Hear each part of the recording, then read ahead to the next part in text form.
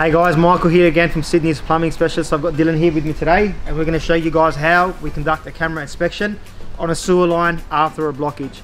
It's important that every single time a blockage occurs, a camera inspection is carried out on either your stormwater or sewer line. If we don't know what's caused the blockage to begin with, the line will most likely block up again if you have a serious underlying issue in the problem. So Dylan's going to start pushing the camera upstream now and as you can see in the video, we've got a clear vision of exactly what's in that line. Now let's just stop there for a second, Dylan. If, if so for hypothetically speaking, we were to find roots in this pipe right here, right? What we have is we've got a locator that we use and basically which sends a frequency up to service to, to surface level for us to pinpoint the exact location of where the camera is. So if you bring your camera over here, you'll be able to see exactly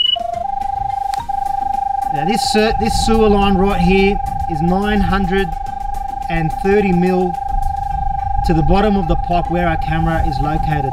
So this eliminates any guessing game and basically what this means is if, if there's a serious problem right here, we'll be able to give you guys a permanent solution on getting this entire uh, issue repaired knowing that the drain the drain issue isn't going to block up again.